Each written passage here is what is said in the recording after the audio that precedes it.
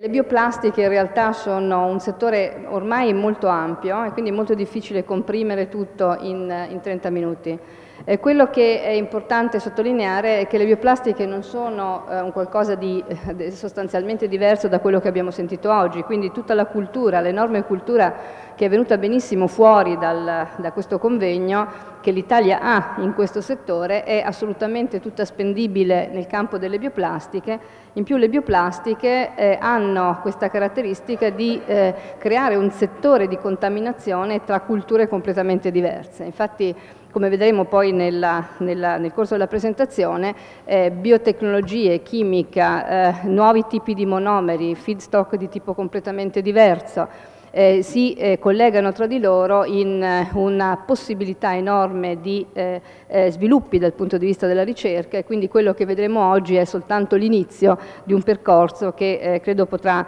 darci molte soddisfazioni dal punto di vista non soltanto in, diciamo, scientifico ma anche credo di ripartenza di alcuni settori industriali a livello europeo. Almeno questa è la mia grande convinzione. Eh, le bioplastiche, eh, innanzitutto la mia presentazione sarà su un po' di nomenclatura, quindi cosa sono le bioplastiche, cosa intendiamo oggi per, per eh, questo con questo termine, alcuni esempi di applicazioni, ovviamente non esaustive, soltanto alcuni casi per capire appunto eh, la, le diversità di, di, di, opportunità di questi prodotti, l'esperienza italiana nel settore delle bioraffinerie integrate per le bioplastiche, quindi considerare anche le bioplastiche come opportunità opportunità eh, di sviluppo di, nuovi, di nuove filiere, di, nuove, di, nuovi sistemi di produzione e il potenziale delle bioplastiche nell'economia di sistema. E quindi non considerare le bioplastiche semplicemente come dei materiali ma come delle grandi opportunità di ridisegno di sistema. E quindi eh, facendo eh, tesoro delle caratteristiche, delle problematiche che abbiamo anche sentito per le plastiche tradizionali, cerchiamo di ingegnerizzare questi materiali con eh, degli elementi, dei vantaggi in più già in partenza, guardando all'origine dei prodotti, guardando al, eh, diciamo, ai processi per produrre questi prodotti, ma anche ai fine vita, in modo tale da utilizzare le bioplastiche di diversa natura soltanto in quei casi in cui veramente possano portare un contributo di sistema veramente forte. Quindi non guardiamo le bioplastiche come semplicemente dalla parte dei materiali, ma guardiamole a livello in modo olistico, guardando proprio l'interazione con la società e con quelle che possono essere le opportunità di ricerca non soltanto nel campo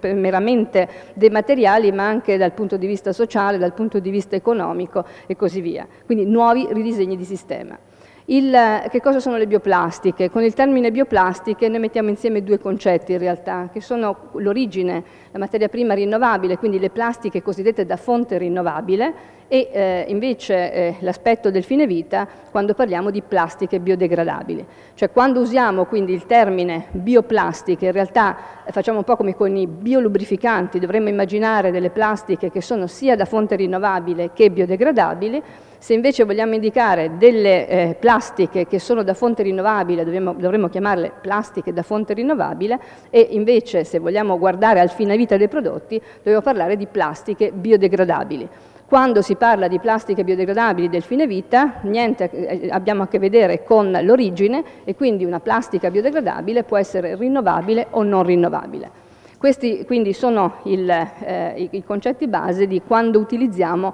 i termini bioplastiche. Bene, eh, le plastiche da fonte rinnovabile possono essere eh, di, di, due grandi famiglie. Possono essere eh, dei polimeri standard con semplicemente dei monomeri sostituiti da fonte rinnovabile, quindi possiamo fare del, dell'etilene da fonte rinnovabile o meno, e quindi possiamo fare un polietilene che è da fonte petrolchimica petrolchimica o da fonte rinnovabile. Chiaramente non ci aspettiamo delle caratteristiche differenti dal punto di vista delle performance di questo tipo di prodotti, tantomeno negli aspetti del fine vita. Quando invece andiamo a considerare eh, l'altra classe di polimeri, eh, che eh, ovviamente ci permettono di spaziare maggiormente dal punto di vista delle eh, diverse caratteristiche, andiamo a guardare prodotti che possono essere eh, prodotti a performance, che hanno quindi, possono introdurre caratteristiche molto differenziate tra di loro, che possono essere la, la, quella che maggiormente abbiamo studiato agli inizi, da cui siamo partiti, che è la biodegradabilità e la compostabilità dei prodotti in diversi ambienti,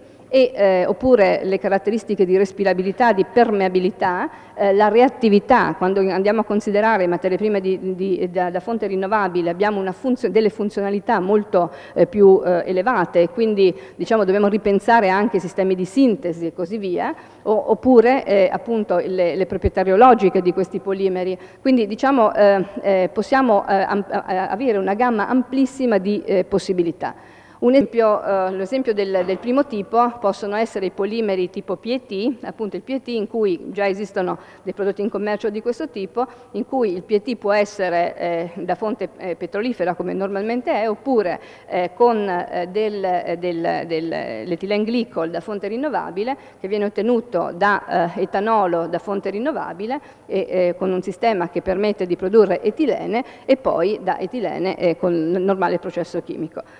Eh, è chiaro che eh, questa tipologia di, eh, di, di prodotti eh, possono aver senso soltanto in casi particolari e quindi ci dobbiamo domandare se eh, effettivamente eh, un processo che è energeticamente non particolarmente favorevole, quello di trasformare etanolo in etilene, sia vantaggioso oppure no e quindi e non solo, ma è vero che noi utilizziamo energie rinnovabili nel caso di etanolo fatto in Brasile, però la quantità di energia per fare questo processo è molto elevata. Quindi quindi se noi non consideriamo eh, eh l'energia rinnovabile la consideriamo zero è un conto, ma se invece la andiamo a considerare, cioè quanta energia veramente utilizziamo, questo è un processo che invece ha bisogno, è molto energivoro. Quindi eh, ehm, questo è molto importante, quindi capire bene quali sono le materie prime, quali sono le alternative, cioè se io ho delle materie prime di partenza, degli zuccheri, eh, delle, delle, melasse di scarto, delle, della, eh, cosa ci faccio? Ci faccio questo tipo di prodotto per fare eti, etanolo e poi andare a fare etilene oppure ci faccio altri prodotti con una resa maggiore?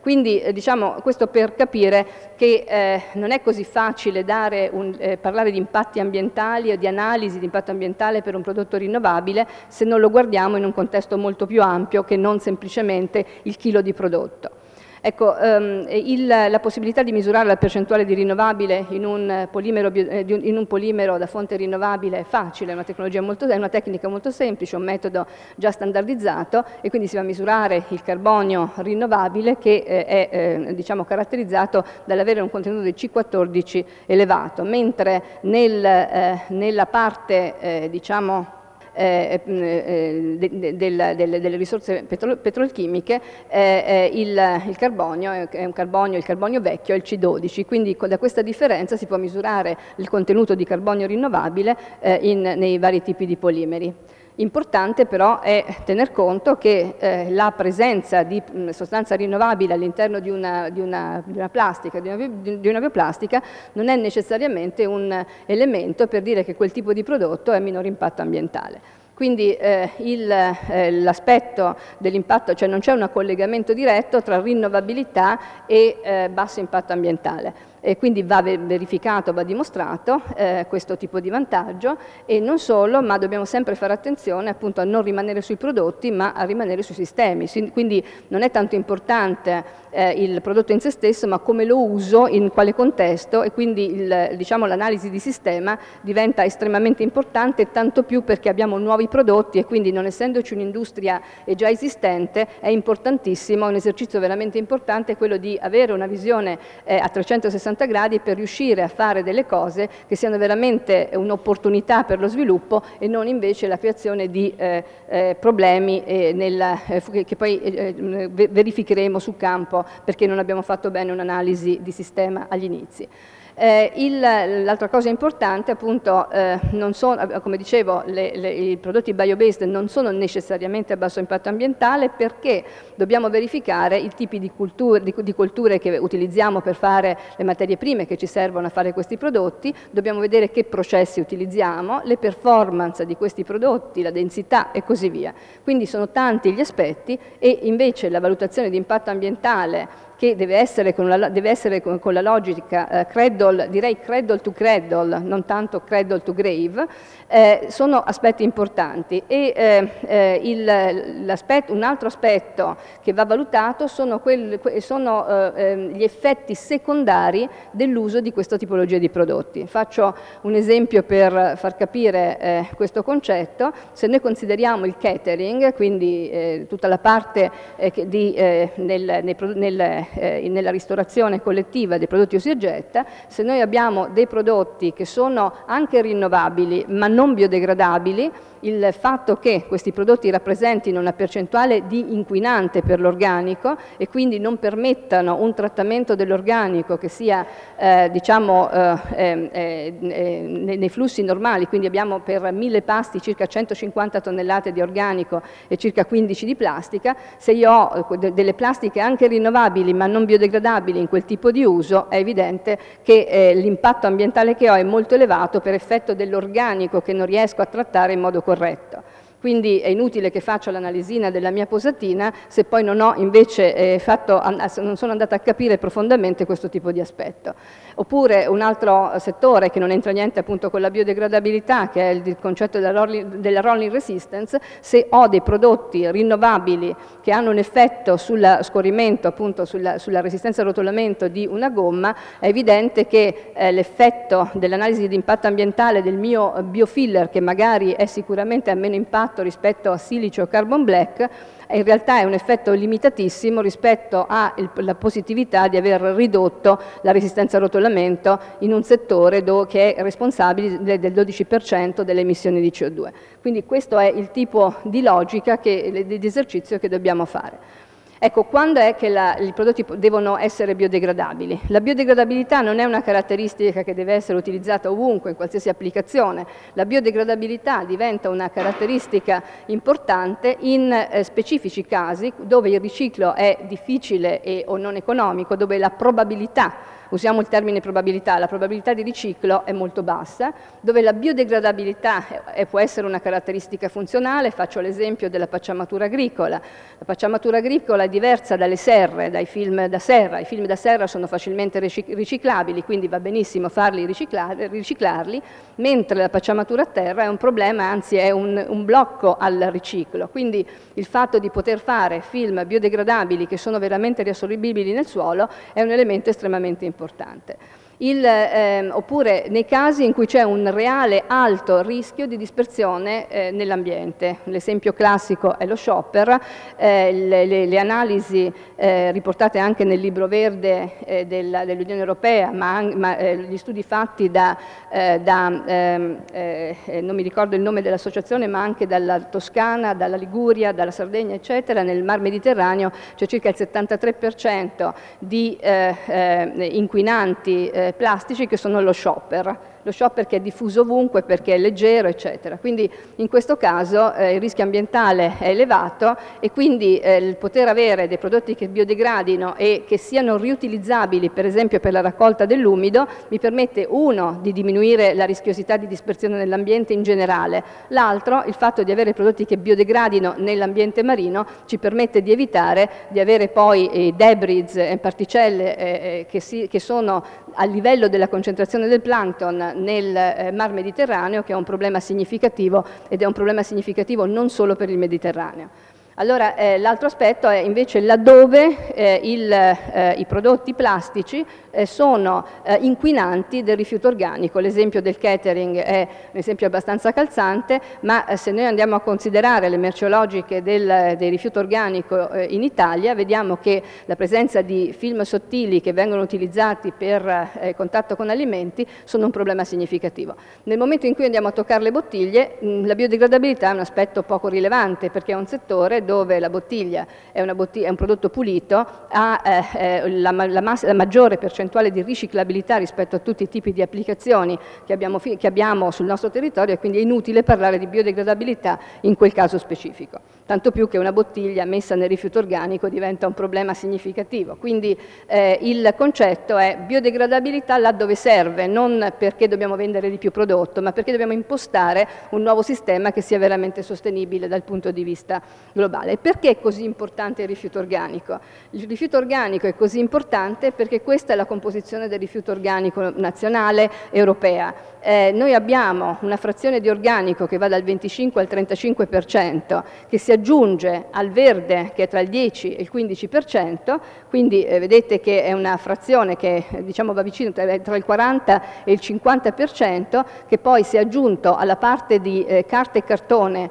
eh, quello che non viene riciclato, che viene, quindi, quindi quello sporco di cibo, la percentuale di eh, eh, frazione compostabile, biodegradabile e compostabile del rifiuto totale è molto significativa. Questo rifiuto organico, in quanto viene ancora messo in Europa in grandissima quantità in discarica. E questo è un problema enorme dal punto di vista economico per i cittadini perché gestire una discarica piena di organico è un problema gigantesco, mentre il rifiuto organico è una materia prima eh, veramente importante, tanto più nella logica della bioeconomia, quando questo feedstock può diventare un feedstock per altri tipi di sostanze chimiche e eh, eh metano e soprattutto compost di qualità per, contro la desertificazione desertificazione dei suoli. Quindi eh, approcciare il problema non dalla parte soltanto delle plastiche, ma guardando la,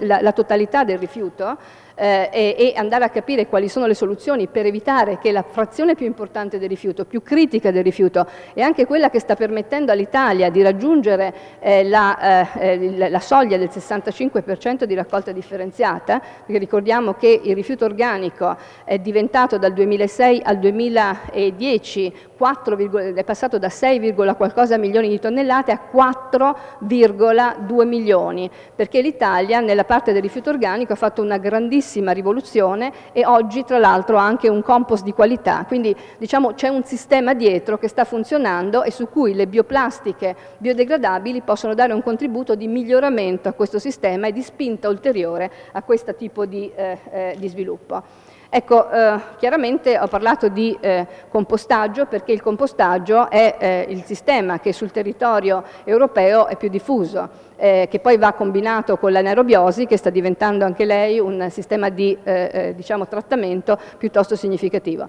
Il, il, tentativo che noi stiamo cercando di fare è quello di ragionare su delle bioplastiche che siano in grado di eh, affrontare tutti i diversi sistemi di, eh, eh, di, smaltimento e di trattamento oppure che affrontino anche il problema del rischio di dispersione nell'ambiente. Quindi nel nostro caso almeno il tentativo è quello di sviluppare delle bioplastiche tecniche che si adattino alla capacità di biodegradare nei diversi ambienti, nel suolo perché per la pacciamatura agricola, agricola, nel, nel, nell'acqua, nell'ambiente marino perché, per evitare un rischio di dispersione, nell'anaerobiosi perché è importante il processo di smaltimento in Italia eh, e eh, ovviamente il compost perché questo ci permette di avere un ottimo prodotto che eh, stocca carbonio nel suolo e, eh, eh, ma anche guardare all'aspetto del, del, riciclo, del riciclo eh, diciamo meccanico, sia eh, per evitare che questi prodotti possano diventare pericolosi all'interno dei sistemi di eh, trattamento eh, che, e, e, di riciclo che sono in atto e quindi non devono andare a danneggiare ciò che sta funzionando e dall'altra parte la possibilità di produrre energia ovviamente nel caso in cui vengano inceneriti con altri tipi di prodotti. Ecco, devo dire che in questo momento abbiamo prodotti che hanno tutti tutte queste caratteristiche eh, sul, eh, sul, eh, in alcune applicazioni. Oh, ehm, le bioplastiche eh, come vengono prodotte, es esistono moltissimi modi di produzione, c'è quello naturale, il più semplice, quello i polimeri da, eh, da carboidrati e da eh, diciamo, eh, acidi grassi, eh, da, da, da, oli, eh, che sono ovviamente il modo più semplice per produrre polimeri. In questo caso è possibile modificare chimicamente in modo limitato questo tipo di polimeri per trasformarli in, eh, e dargli comportamenti plastici. Ehm, il, ovviamente hanno una serie di limitazioni, quindi sono prodotti a comportamento che servono per eh, cose specifiche e limitate. Eh, esistono poi sistemi ormai ben sviluppati di eh, sintesi eh, biotecnologica, i cosiddetti ehm, polimeri microbici. L'esempio eh, più eh, significativo è sicuramente quello dei polidrossi alcanoati, polidrossi alcanoati il cui capostipite polidrossi butirrato è, eh, è stato diciamo, trovato e identificato addirittura nel 1929 mi sembra ed è un modo per stoccare energia per i microorganismi eh, questo tipo di sistema è stato sviluppato ampiamente negli ultimi 30 anni e quindi siamo in grado, attraverso eh, la fermentazione, eh, partendo da microorganismi diversi, per esempio eh, da Rastonia eutrofa è possibile fare polidrossilcanoati con eh, catene eh, co e, copolimeri a, con, con, sostituenti a, a, catena corta, mentre se andiamo a lavorare su Pseudomonas olevorans è possibile inserire nella catena principale del polidrossilcanoato canoati delle catene lunghe che permettono di modificare eh, sostanzialmente i comportamenti di questi polimeri. Poi vedremo alcune proprietà di questi, di questi prodotti. Quindi diciamo esiste una gamma molto ampia, eh, tuttavia sono prodotti molto complessi, molto costosi perché comunque hanno bisogno eh, di eh, grande quantità bio, di, di, feedstock perché la resa è, è, bassa, per esempio se pensiamo al mais abbiamo bisogno di 4,3 kg di mais per fare un chilo di polidrossilcanoati, quindi un costo significativo e eh, eh, un impatto eh, significativo in termini di terra, eccetera. Eh, esiste poi il sistema classico di sintesi chimica a partire da monomeri che a loro volta possono essere ottenuti in modi completamente diversi, sia da biotecnologie, vedi l'acido lattico per esempio, l'acido succinico oppure il butandiolo rinnovabile, e, eh, eh, oppure eh, normali eh, monomeri da fonte petrolchimica eh, che possono essere sintetizzati per dare strutture chimiche che hanno la caratteristica di essere biodegradabili. Eh, e qui mm, citiamo, eh, cito il polilattico ovviamente che è il caso più importante anche dal punto di vista industriale, eh, poli-L-lattico, quindi eh, il, con, e poi vedremo il poli-L-lattico che cosa può fare in combinazione con altro con, altro, con il dilattico, eh, il policaprolattoni, i poliammidi ehm, e poi i polimeri alifatici aromatici, il polibutilen succinato, quindi sono moltissime le categorie di polimeri da fonte rinnovabile e non rinnovabile che sono biodegradabili e che sono stati ampiamente studiati, alcuni di questi sono eh, ormai sul mercato e eh, hanno ormai raggiunto delle caratteristiche molto interessanti. Qui vedete eh, degli esempi di eh, feedstock rinnovabili diversi e di prodotti che sono direttamente derivati eh, senza eh, grandi eh, modifiche e, e quindi nei, nei, nei, cellulosici abbiamo prodotti storici come la cellophane, eh, i derivati della, della cellulosa, quindi l'acetato di cellulosa, l'acetato butirrato di cellulosa, ma eh, eh, tutta una serie di eh, polimeri graffati e soprattutto tutta la parte invece dei prodotti da legno eh, che eh, sfruttano le lignine che stanno diventando eh, una interessante area di sviluppo e dove ancora la ricerca ha moltissimo da fare. le fibre naturali, che anche questi i compositi da fibre naturali sono eh, noti da moltissimo tempo e, e gli sviluppi eh, stanno, eh, stanno, aumentando. Eh, gli amidi, eh, gli amidi di cui noi ci siamo occupati moltissimo, eh, qui negli amidi gli sviluppi sono molti, nel campo dell'amido termoplastico, delle schiume d'amido, degli amidi graffati con, in blending reattivo, e soprattutto gli amidi complessati che, eh, e, e, le, e, le, nanoparticelle d'amido che eh, ci hanno permesso, almeno come, come Novamont, di sviluppare una, i primi prodotti e eh, ancora oggi abbiamo i prodotti più importanti proprio ottenuti attraverso questo tipo di eh, processo. Eh, i, i, polisaccaridi di altra natura, non mi soffermo su questo, eh, i grassi che possono darci oltre a biolubrificanti e biodiesel anche i polioli poliuretani, plastificanti per gli additivi obiettivi per, di, di processo per i polimeri e così via. E poi la classe delle proteine,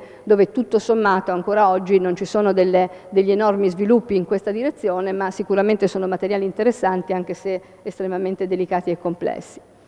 Bene, con questi tipi di prodotti, eh, attraverso, come dicevo prima, processi di tipo biotecnologico o chimico, è possibile eh, eh, produrre, per esempio in questo momento esistono degli impianti in costruzione che riguardano l'acido succinico, il 1,4-butandiolo, esistono degli impianti già esistenti, cioè un impianto esistente di 1,3-propandiolo, eh, un, un, eh, un, grande impianto di acido, di acido polilattico e eh, di acido lattico che, eh, che, poi permette di fare acido polilattico, una serie di poliesteri ampi, i polimeri eh, microbici, eh, che eh, devo dire eh, esiste una capacità produttiva significativa, ma non sono poi mai riusciti ad arrivare realmente ad applicazioni industriali significative. Eh, processi chimici invece dove eh, per, esempio l'etilenglicol eh, e altri macromeri degli, degli, degli zuccheri, eh, l'isosorbide da, da, da, da sorbitolo, ehm, il, il, la, la, il, il furano carbossilico e così via.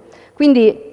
Diciamo che eh, c'è un'ampiezza di sviluppo enorme e per ognuno di questi settori di materiali si possono applicare tutte le, le tecniche e gli sviluppi che abbiamo visto precedentemente. Ecco, vediamo eh, alcuni esempi e alcune caratteristiche di questi, di questi prodotti. Allora, eh, qui vedete una, una sintesi molto, molto eh, sintetica per ehm, eh, far vedere che eh, tra i polimeri più noti, cioè i polidrossi eh, il polilattico, i polibutilen tereftalati alcanoati e il polibutilen succinati, ecco, tra, in queste categorie di prodotti abbiamo prodotti che eh, presentano punti di fusione eh, che arrivano fino ai 180 gradi e eh, ehm, delle caratteristiche meccaniche in cui abbiamo prodotti estremamente rigidi, il polidrossi eh, butirato eh, arriva a 4000 eh, di, eh, di, megapascal di modulo e invece eh, il polilattico a circa 3000 e poi invece abbiamo polimeri che hanno delle caratteristiche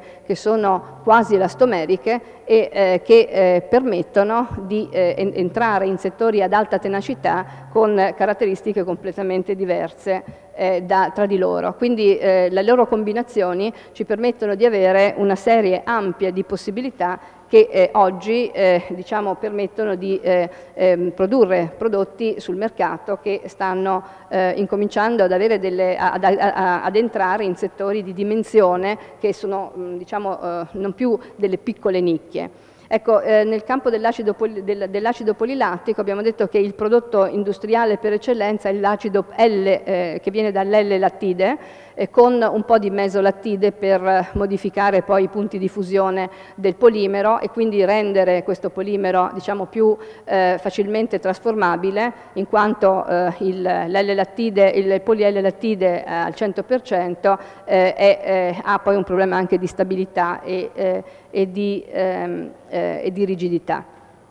Tuttavia è possibile eh, produrre anche il polidilattico e eh, la cosa interessante è che la combinazione di eh, eh poli-L lattico con mm, piccole quantità di polidilattico permettono invece di cambiare completamente il comportamento di questo polimero, il quale ha una serie di limitazioni eh, quando è usato eh, da solo. E in pratica la, la, la più, il vantaggio più grande è la sua trasparenza prodotto bellissimo, più trasparente anche del PET, quindi questa è la caratteristica diciamo, vincente del polilattico. Eh, tuttavia eh, ha un problema molto forte, una TG che è intorno ai tra i 50 e i 60 gradi e questo rende tutto molto complesso quando si va fuori dal settore delle fibre e, eh, ehm, il, e, quindi eh, crea una serie di problemi eh, sia nell'handling dei pellets sia nel trasporto per esempio dei prodotti finiti. Eh, ha una, una resistenza all'impatto che non è elevatissima e eh, aspetti, pro problemi dal, dal, punto di vista della barriera ai eh, gas. Bene, eh, è possibile combinare il PL lattico con il PD eh, lattico eh, mettendo piccole quantità di PD lattico creando uno stereo complesso e questo stereo complesso rende eh, quel polimero dell'acido polilattico con una fusione che va dai 205 ai 245 gradi e cambia completamente le performance di questo tipo di polimeri.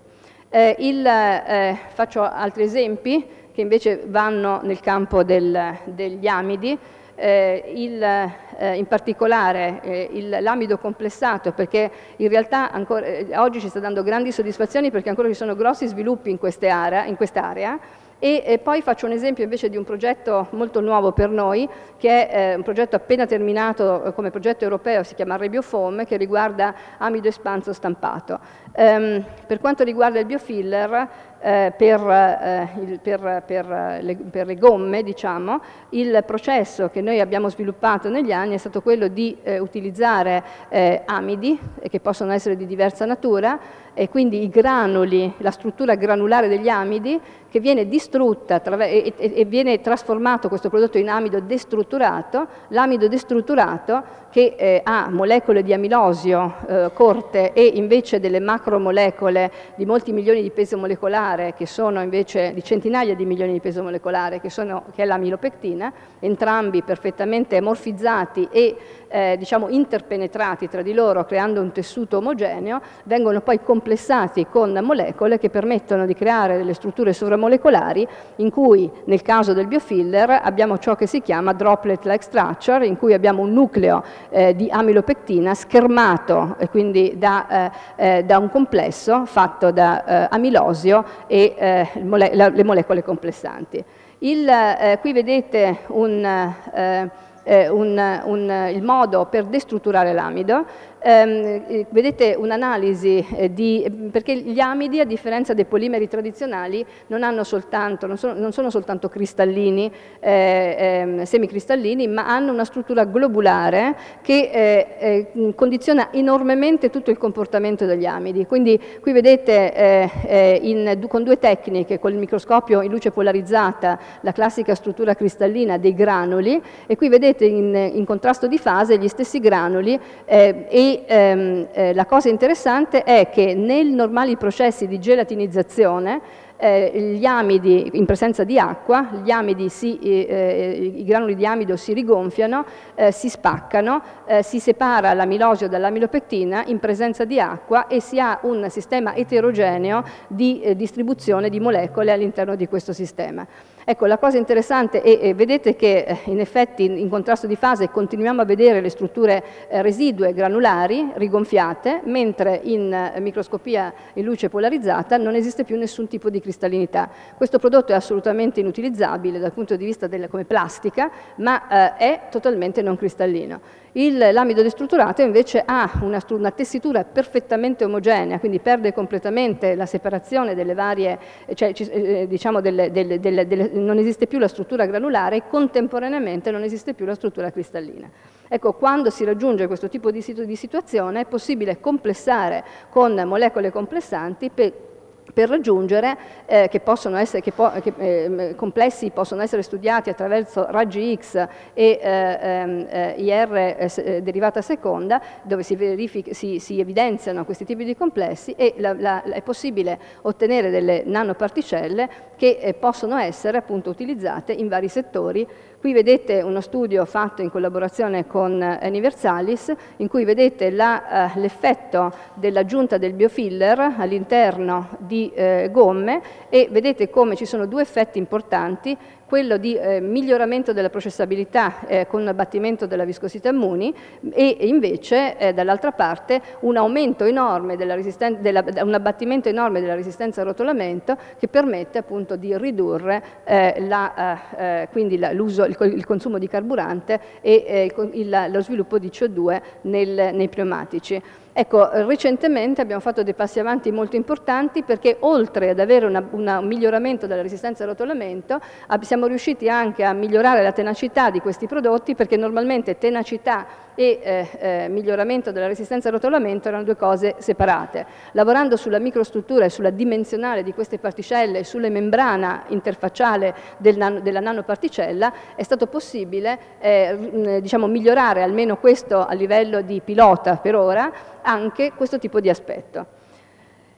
Qui vedete un altro settore completamente diverso, eh, che è quello dei, eh, dei, dei blocchi eh, espansi quindi eh, il, diciamo, un possibile eh, utilizzo eh, come sostituto del polistirolo espanso, non ovviamente nel, nell'isolamento dove il polistirolo eh, ha una funzione assolutamente fondamentale, ma laddove abbiamo un'applicazione eh, diciamo, abbastanza, abbastanza eh, complessa per il polistirolo. Appunto. Quindi questo è un, abbiamo sviluppato un processo eh, che va dalla produzione di pellets al eh, eh, processo per lo stampaggio e, e, eh, al, e, agli stampi, quindi è un sistema diciamo, um, completo, eh, è una nuova tecnologia mm, abbiamo realizzato un prototipo piuttosto grande, ehm, praticamente in scala semi-industriale, e eh, è stata fatta la dimostrazione eh, all'Unione Europea con, eh, ehm, recentemente eh, alla fine di gennaio, quindi è veramente una tecnologia molto, molto eh, nuova, eh, è un sistema di espansione a microonde che permette di avere un processo rapidissimo, una bassa densità, una tenacità di questi prodotti, una ehm, buona adesione interfacciale tra le particelle espanse. E qui la cosa interessante è capire eh, che, eh, anche, mh, ho messo questo esempio per porre un aspetto interessante che è quello della, eh, del ehm, problema eh, della eh, competizione con il cibo. Eh, quindi cioè, diciamo che in, questa, in quest'aula possiamo evitare di, eh, di, di, di, utilizzare slogan e di ragionare. No? Quindi in questo caso vediamo un'applicazione eh, che ehm, eh, riguarda un volume molto piccolo, perché eh, c'è cioè una quantità molto piccola, il volume è molto grande ma la quantità è piccola. Infatti il polistirolo espanso per uso package in Europa è circa 300.000 tonnellate, e che eh, si confronta con tre, i 3 milioni di tonnellate di EPS eh, per, totali, per uso per esempio appunto nella, nel, nell'isolamento e, e a, a, sua volta l'EPS è un valore molto piccolo rispetto al totale delle plastiche. Eh, se andiamo a guardare la produzione di mais è 700 milioni di tonnellate, ma la cosa molto importante è che la produzione di amido da mais è 44 milioni di tonnellate, quindi una parte più, molto piccola rispetto a quella totale del, del, del, mai, del mais, ma eh, l'altra cosa importante è che questi 44 milioni di tonnellate sono usati per usi industriali, non sono per uso alimentare, quindi ecco questo è un aspetto, quindi la carta e il cartone sono tra i maggiori utilizzatori di questo settore, la farmaceutica è un altro settore importante, gli additivi alimentari, ma poi per le costruzioni eh, eh vengono utilizzati gli amidi anche come appretti per, per gli abiti. Ecco, il, eh, in, questa, in, questo, eh, sì, in, questo, eh, in queste applicazioni eh, il, ehm, il, concetto è che non c'è conflitto con il cibo, c'è un uso efficiente dell'amido perché per un chilo d'amido si, si, produce un chilo di eh, rebiofoam eh, e mentre se utilizziamo processi fermentativi abbiamo un utilizzo eh, diciamo dallo 0,6 allo 0,3% eh, di, eh, di amido Ehm, la tecnologia di stampaggio è molto efficiente, eh, quindi con bassissimo contenuto energetico, l'acqua viene utilizzata per l'espansione e eh, il l'end of life eh, viene, eh, è la parte più interessante perché nell'end of life noi possiamo utilizzare questo amido per, ehm, eh, per eh, diciamo come amido vergine per il cartone, quindi non c'è bisogno di un sistema di riciclo particolare perché questo prodotto può essere utilizzato in, raccolto insieme al cartone e diventa invece un prodotto importantissimo perché ha la stessa funzione dell'amido vergine che la carta utilizza per, come appretto per, per, la carta. La carta lo usa come collante e come trattamento superficiale. Eh, non solo, non c'è rischio in caso di dispersione nell'ambiente perché comunque le componenti sono componenti eh, diciamo ingeribili e eh, non solo, ma gli animali non vengono attratti da questi prodotti ma se ingeriscono i prodotti non, certamente non stanno male, eh, hanno, eh, prodotto, il prodotto perde di densità in presenza di acqua per tempo lungo, non c'è rischio di pollution marina e eh, viene riutilizzabile, è riutilizzabile anche come giocattolo perché diventa un Lego eh, dove si può, eh, se lasciato in casa, può essere riutilizzato. Ehm, ci sono tantissime altre applicazioni nel campo, nel campo agricolo, nel campo delle, delle protesi eh, interne eh, nel corpo, applicazioni che conoscete nel, nel settore della, della raccolta del, del, dei rifiuti perché il film respira come la pelle e quindi c'è anche un effetto di diminuzione dei problemi di anaerobiosi e, eh, eh, e, di riduzione del peso del rifiuto che è un costo enorme per il cittadino e un costo no enorme quindi per, per tutta la comunità. Eh, il rilascio controllato di sostanze eh, attive e così via. Eh, concludo con eh, l'aspetto che mi interessa poi di più, tutto questo discorso, per dire che il, eh, siamo partiti dallo sviluppo delle bioplastiche, ma poi eh, siamo riusciti a mettere sul mercato dei prodotti eh, in Italia partendo dall'Italia come, come, come, caso studio e in giro per il mondo, ma quello che siamo riusciti a fare è di, partendo dagli amidi complessati, dai poliesteri che complessano gli amidi, a sviluppare una serie di processi eh, di tecnologie integrate eh, eh, a monte, fino ad arrivare alla produzione dei monomeri che servono a fare i poliesteri, che servono a complessare l'amido, e sia a lavorare sulle, eh, sulle filiere agricola, lavorando, mm,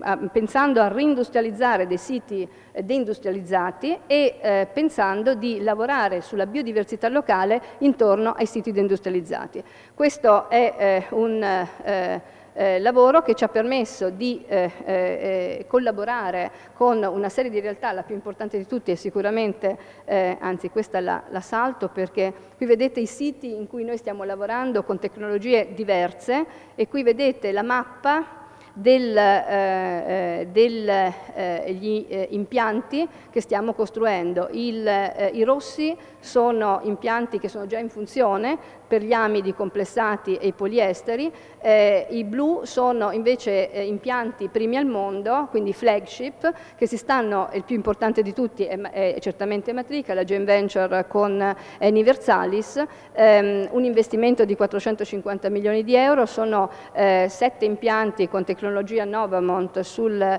territorio di Porto Torres con il più vecchio cracker europeo che è stato chiuso, con eh, una eh, filiera agricola che sta nascendo intorno a questo, eh, a questo impianto. Qui vedete la costruzione dell'impianto, eh, dei primi due impianti che saranno pronti alla fine di quest'anno e che eh, produrranno monomeri per bioplastiche e eh, biolubrificanti e additivi per gomme. Qui vedete invece le colture eh, sperimentali di cardo eh, pluriennale senza, in zone marginali senza acqua, con i risultati del secondo anno ci stanno dando veramente del, dei risultati molto importanti e la cosa che noi pensiamo dimostra che cosa è possibile fare con la bioeconomia guardando a prodotti complessi come le bioplastiche è che eh, studiando questo tipo di eh, colture eh, come, come, il cardo utilizziamo l'olio che viene dal seme, utilizziamo il, la, la, eh, la, parte lignocellulosica per la parte energetica e per eh, eh, zuccheri eh, che possono poi alimentare gli impianti di fermentazione, per esempio per fare l'1,4-butandiolo che faremo invece, che stiamo facendo invece nel Veneto,